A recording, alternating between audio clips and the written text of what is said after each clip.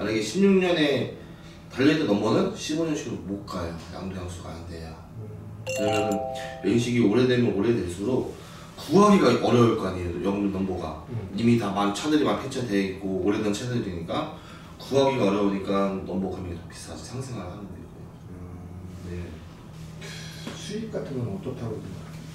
수입은 이게 말씀드리기가 진짜 되게 애매한 게 일단은 일 자체가 없지는 않아요. 일은 뭐 있어요. 꾸준하게 있어요. 근데 뭐 그전에 비해 단가가 뭐 떨어진 것도 사실이기도 하고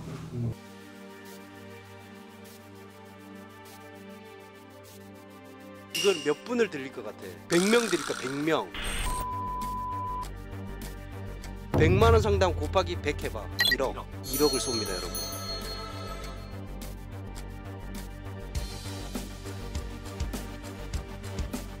오세요, 디젤 트럭으로. 3.5톤 물어보셨죠? 네, 지금 3.5 울트라 3.5 하는데 아 같이 고민이시구나. 네, 지역 어디세요? 저 청주요. 청주에 오신 거예요? 네네. 음. 일단 지역이 청주가 네. 여, 여행만 드신다 그러면 3.5톤으로 네, 하시는 거는 다 추천드리고 있거든요. 네, 3.5톤으로. 네. 1톤이 조금 청주는 특색이 좀 음, 버거우실 거예요. 좀 더 멀리 나가셔야 돼요. 네. 음, 잡으려고 하면은 청주 내에서는 그렇게 단가도 좋지가 않고 일도 조금 저기 그래서 청주 분도 거의 뭐 아래 지방 뭐 부산이나 이런 데도 많이 왔다 갔다 하시거든요. 그런 식으로 다니셔야 되고 물론 3.5톤도 마찬가지긴 하지만 그래도 범위는 일에 대한 범위는 3.5톤이 좀 나을 거 나으실 겁니다. 그 3.5도 윙바디 그거를 지금 가격대가 어느 정도 가격대는 천차 만별이고요. 그, 그렇겠죠. 네. 그래도 이제 어느 정도 좀 너무 좋은 것도 아니고 뭐 한, 뭐 너무 나쁜 것도 안 되겠죠. 그러면은 광폭 인가들을 그렇죠. 넘버는 네. 넘 가격은 어느 정도예요 지금? 지금 넘버는 평균 전후 잡으시면 돼요.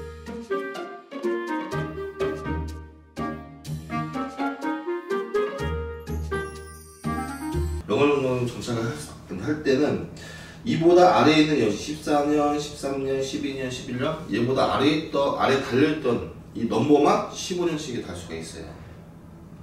만약에 16년에 달려있던 넘버는 15년씩으로 못 가요. 양도양수가 안 돼요. 왜냐면 연식이 오래되면 오래될수록 구하기가 어려울 거 아니에요. 영 넘버가 이미 다 많은 차들이 많이 폐차되어 있고 오래된 차들이니까 구하기가 어려우니까 넘버 금액이 더 비싸지 상승을 하는 거고요. 네. 그러면 지금 차 같은 경우는 어떤 연식이 좀 선생님 더센 더센 좀더 싸긴 하거든요. 더 세는데 보니까 좀 구체적으로 보니까 제가 몇몇 보니까 좀 싼 편이더라고요. 다른 차들보다 현대차 이런 차보다. 네, 더센 좀싼좀 차가 좀 더 저렴하고 근데 차는 더 좋아요. 그거 왜 그래요?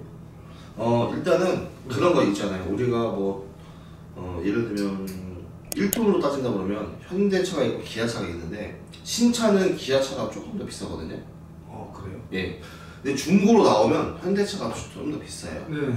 그런데 다 까보고 보잖아요. 네. 똑같은 차예요. 네 그렇게 같은 회사마다 똑같은 네, 차예요. 네. 그런데 산 이제 인식이라는 게 브랜드 이미지라는 게 네. 있어가지고 선호를 더 많이 하다 보니까 비싸지는 거고 자연스럽게 비싸지는 거고 선호를 좀 덜 하면 좀 금액이 좀 더 내려가는 거고.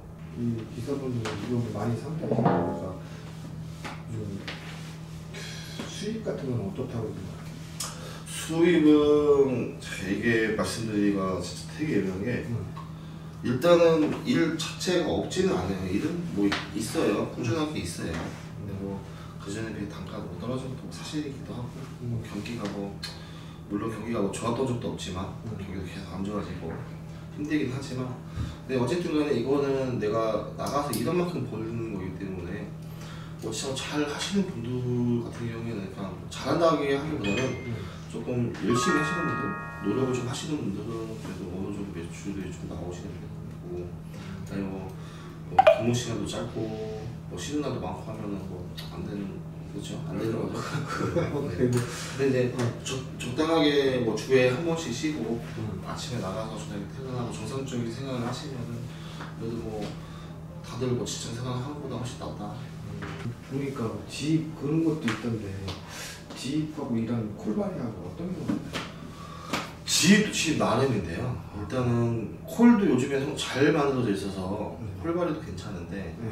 근데 지입해서 뭐 단가가 좋다. 고정이 계속 생긴다면 지입 뭐 지입 오전에는 지입 일하고 오후에는 콜바리하고 이렇게 하시는 분들도 있고. 아, 근데 뭐 예를 들어 지입 고정이 뭐 한 달에 천억에 줄게 우리 그만 해 그러면 다시 그러면 솔직히 콜바리 할 필요 없잖아요. 그 지입률만 하면 되잖아요.